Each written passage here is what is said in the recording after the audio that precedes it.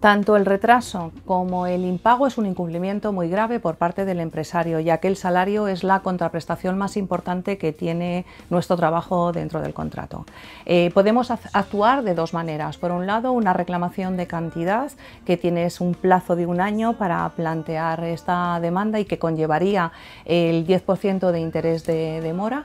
Y por otro lado, si el incumplimiento se considera muy grave, podríamos plantear una extinción del contrato de trabajo que en el caso de estimarse daría lugar a una indemnización como si fuera un despido improcedente, aunque es muy importante que sepas que hasta que no haya sentencia judicial debes permanecer en tu puesto de trabajo.